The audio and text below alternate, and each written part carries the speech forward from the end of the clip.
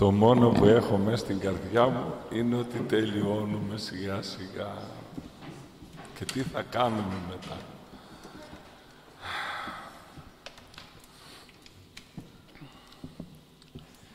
Είπαμε χθες για τις...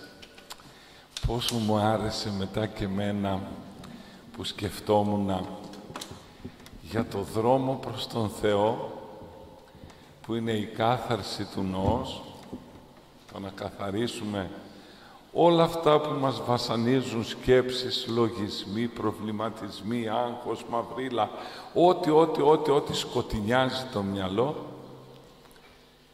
να λυγίσουμε μπροστά στο Θεό και να έρθει ο Θεός να μας φωτίσει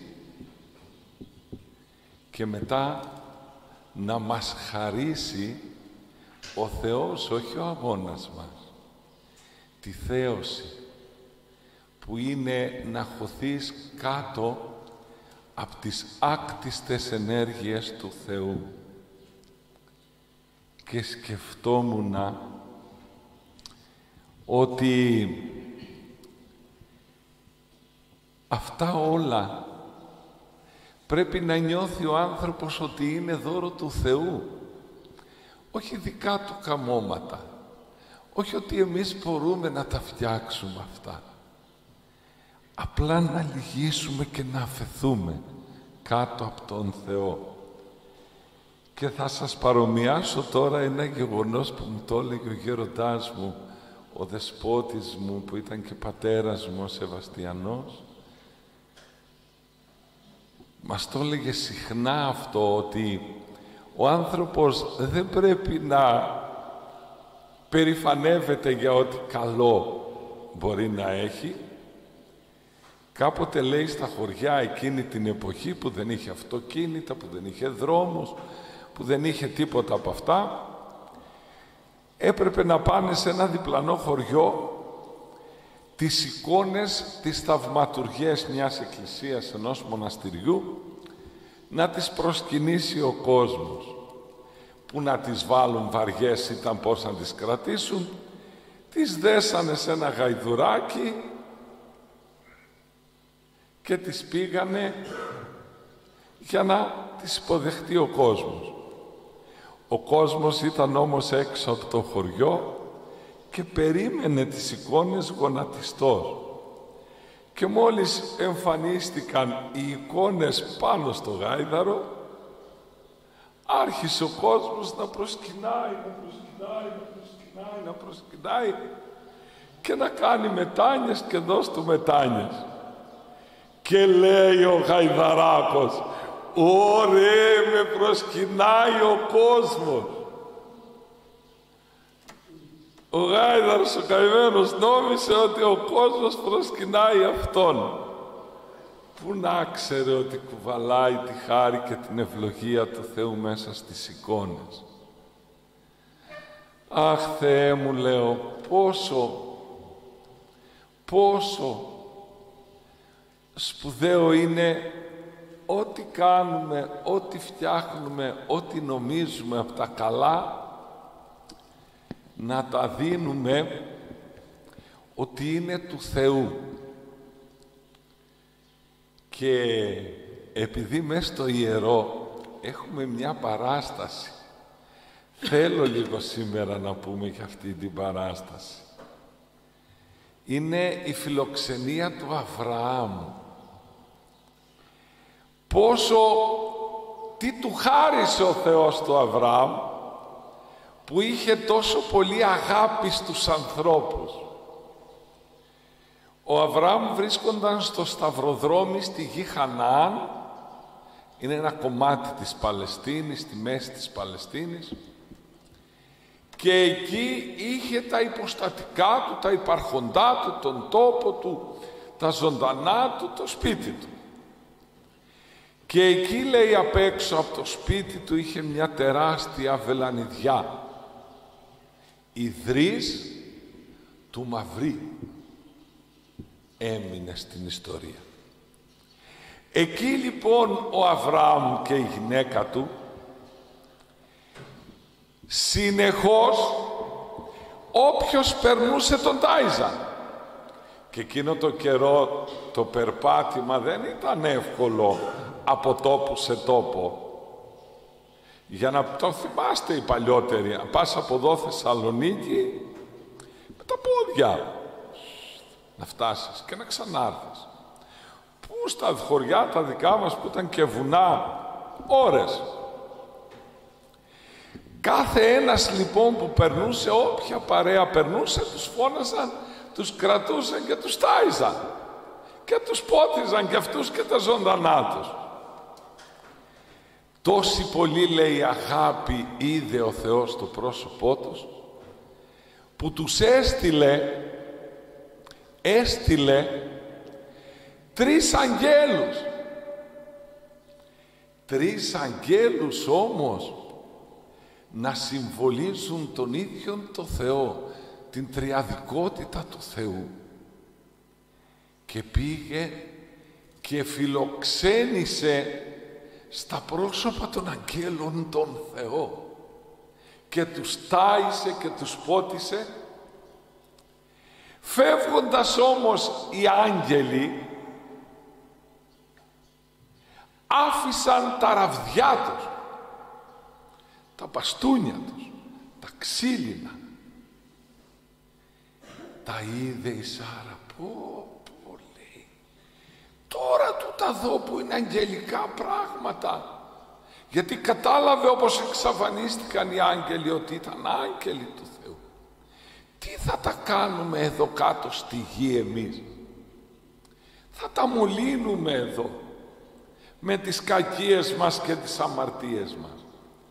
Και άναψε λέει φωτιά μεγάλη και τα ρίξε μέσα μια φορά, δυο φορές, τρεις φορές τα ραβδιά δεν κάηκαν και ας ήταν από ξύλο.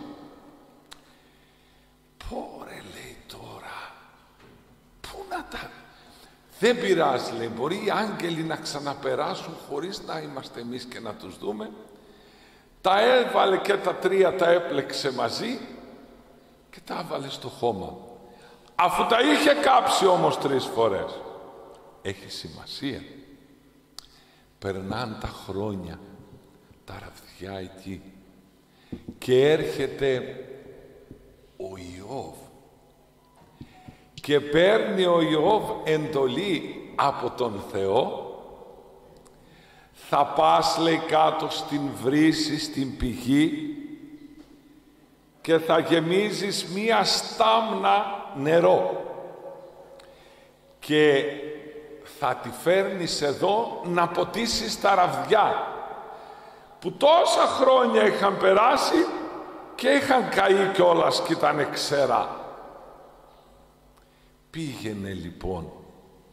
Γυρίζοντας όμως πάντα κάτι γίνονταν και χύνονταν το νερό. Και του λέγε ο άγγελος, όχι δεύτερη φορά, θα προσπαθήσεις αύριο αύριο μεθαύριο αντιμεθαύριο ένας, δυο, τρεις, τέσσερις, πέντε, έξι, δέκα, τριάντα, σαράντα χρόνια ολόκληρα κάθε μέρα ο Ιώβ προσπαθούσε να φέρει νερό για να ποτίσει τα ξύλινα ραβδιά. Δεν μπόρεσε καμία μέρα και έφτασε στα 40 χρόνια στην τελευταία μέρα και μπόρεσε και έφερε μία ολόκληρη στάμνα νερό. Την έριξε και αμέσως είδε τα ραβδιά. Να βγάζουν κλαδιά. Μέχρι τότε λέει ο διάβολος έβαζε την τρικλοποδιά. Γιατί ήξερε ο διάβολος τι ήταν αυτά τα ραβδιά. Και γιατί είχαν έρθει εδώ κάτω στη γη. Και φύτρωσαν και μεγάλωσαν. Και τέτοιο δέντρο δεν ξαναβγήκε στη γη. Και πέρασαν ξανά τα χρόνια. Πόσοι μωρέ, Πόση υπομονή να είχε αυτός ο Ιωβάκος ο καημένος. Πόση υπομονή, πόση υπακοή στο Θεό, πόση ταπείνωση που να γίνονται όλα αυτά και αυτός εκεί να προσπαθεί να κάνει τον κανόνα που του είχε βάλει ο άγγελος. Αυτοί είναι κανόνες. Μας βάζει εμάς ο πνευματικός κανέναν κανόνα λίγο μικρό και πεταγόμαστε πάνω. Πω, πω, πω, πω, πω, πώς να το κάνω αυτό το κανόνα. 40 χρόνια κάθε μέρα. Και το έκανε. Και φύτρωσε και μεγάλωσε. Και ήρθε η ώρα να, να φτιάξουν το ναό του Σολομώντα που ήταν ο μόνος ναός κατά τους Εβραίους που θα ήταν το σπίτι του Θεού. Ένα ναό, ένα σπίτι φτιάξαν οι Εβραίοι ως σπίτι του Θεού.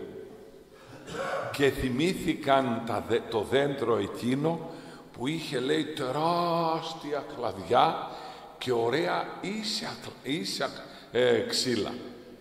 Και πήγαν λέει να κόψουν οι μάστοροι από εκείνο το ευλογημένο το δέντρο. Και εκεί λέει που κόψανε τα κομμάτια, τα μετρούσαν, τα ξαναμετρούσαν για να φτιάξουν τη στέγη, πήγαιναν λέει να τα βάλουν και δεν τέριασαν. Πόρε λέει τώρα, μία, δύο, δέκα, αγανάκτησαν οι, οι, οι μάστοροι και έβρισαν τα ξύλα και τα πέταξαν ως άτιμο ξύλο που δεν θέλει να μπει στο ναό, στο σπίτι του Θεού. Θα τα ρίξετε λέει εκεί που πετάμε τις βρωμιές για να βρωμίζονται και για να τους κάνουμε τις ακαθαρσίες πάνω. Δεν θέλει λέει αυτό. Ποιο είναι αυτό το δέντρο που δεν θέλει να μπει στο ναό του Θεού. Γι' αυτό και τι λένε τα τροπάρια. Το άτιμο ξύλο ήταν πιο μετά από χρόνια. Ξαναπερνάνε τα χρόνια. Χίλια χρόνια αυτή η ιστορία. Πού χρησιμοποιήθηκε αυτό το ξύλο μετά; Για να κοροϊδέψουν πιο πολύ το Χριστό πήραν από αυτά τα ξύλα για να φτιάξουν το σταυρό του Χριστού. Τα άτιμα τα ξύλα. Ποιο ήταν όμως αυτό το δέντρο και μέσα από ποιον αγώνα και υπακοή και κανόνα μας ήρθε; Της αγάπης του Αβραάμ που φιλοξενεί τους αγγέλους και της ταπείνωσης και της υπακοής και της υπομονής του Ιώβ που ποτίζει το δέντρο και της κακίας των, των Εβραίων που το πετάνε. Αυτό το ξύλο, λέει η παράδοση, ήταν από τον παράδεισο μέσα το δέντρο της αθανασίας από το οποίο τους καρπούς θα τρώγαμε και θα γινόμασταν αθάνατοι δεν θα πεθαίναμε, δεν θα πονούσαμε, δεν θα υποφέραμε. Δεν, δεν, δεν, δεν. Και όμως ο Χριστός μας, ο Θεός μας, μας το στείλε το δέντρο της Αθανασίας. Που μέσα από το σταυρό του Χριστού, που ανεβαίνει πάνω σε αυτό το ξύλο και καρφώνεται, μας χαρίζει ξανά τον παράδεισο της τρυφής και της απόλαυσης και τη δυνατότητα του να είμαστε αθάνατοι και να ζούμε αιώνια. Όλα αυτά γίνανε με τις αρετές της Παλαιάς Διαθήκης, της ταπείνωσης, της υπακοής, της υπομονής, αλλά και της αγάπης. Αυτή είναι η παράδοση του Σταυρού. Αυτό είναι το ξύλο του Σταυρού. Αυτή είναι η αθανασία μας, η ζωή αιώνιος, η σωτηρία των ανθρώπων που μας τη χάρισε με τόσο απλό τρόπο ο Θεός να φτιαχτεί ο σταυρός Του να νομίζουν οι Εβραίοι ότι τον κοροϊδεύουν και τον εξευτελίζουν τον Χριστό να αφήνεται ο Χριστός μας πάνω στο σταυρό σε όλη την πορεία του πάθους Του να τον κοροϊδεύουν, να τον ξεφτελίζουν, να τον τσαλαπατάνε. Πω, πω, πω, πω, πω. Πόσα του έκαναν εκείνο το βράδυ της Μεγάλης Πέμπτης. Αφέθηκε όμως. Γιατί, γιατί ήξερε ότι εκείνη την ώρα χάριζε σε όλους μας την αθανασία, τη ζωή την αιώνιο. Ξανά άνοιγε εκείνο το βράδυ ο παράδεισος. Και μη με ρωτήσετε μωρέ, κι αν αμαρτάνει ο άνθρωπος, κι αν λερώνεται ο άνθρωπος, μα γι' αυτό είχε το αίμα του.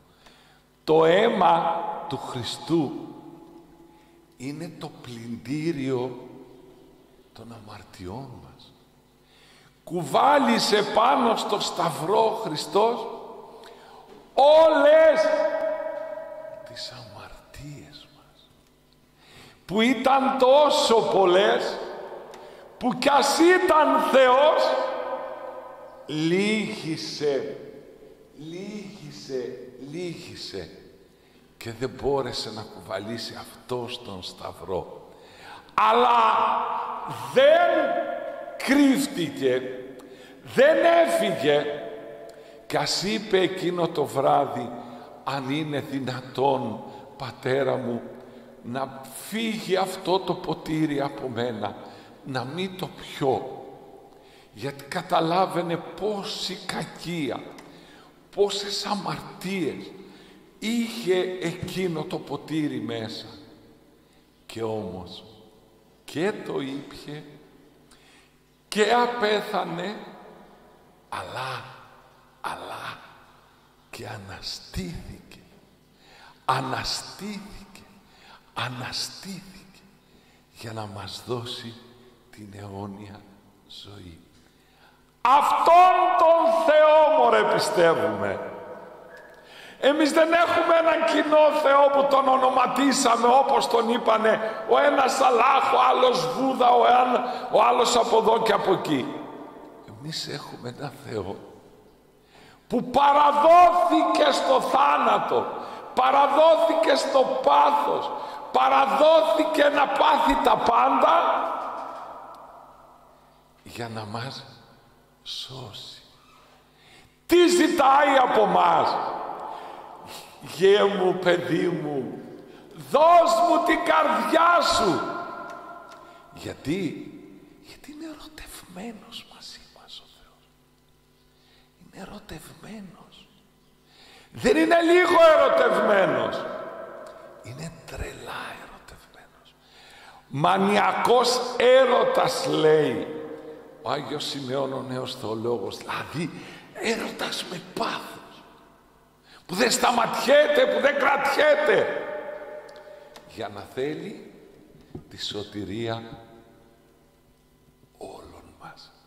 Όχι, δεν αγαπάει πεντέξι ο Θεός.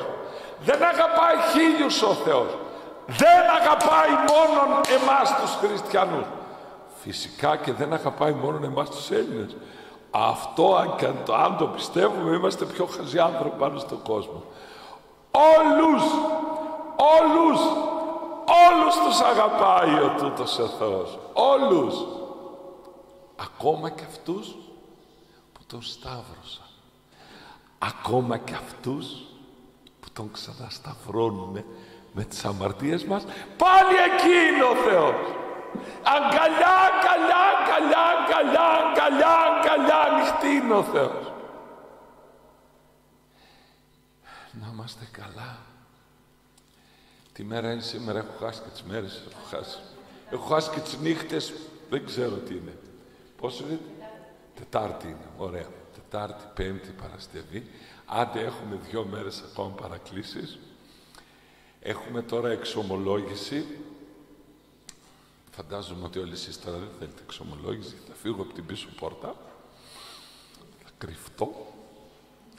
Ε, θα σας πω ένα μυστικό.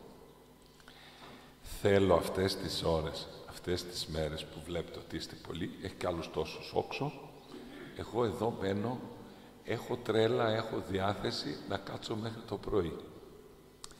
Αλλά θα, θα έχετε έτοιμες τις αμαρτιούλες σας τις μικρές.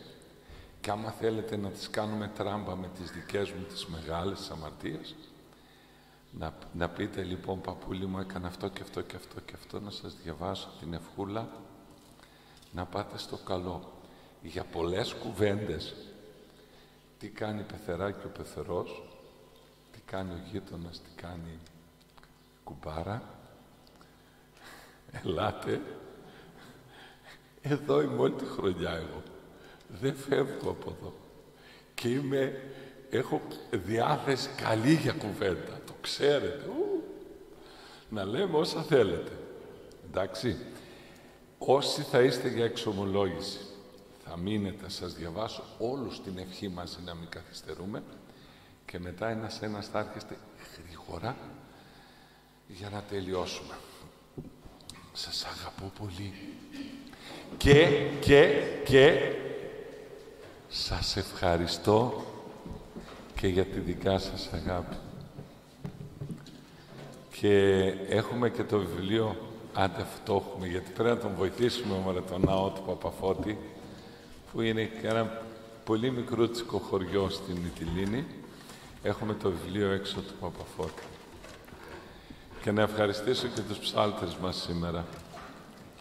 Διευχών των Αγίων Πατέρων ημών, Κύριε Ιησού Χριστέ ο Θεός ημών, ελέησον και σώσον ημάς. Να είστε καλά.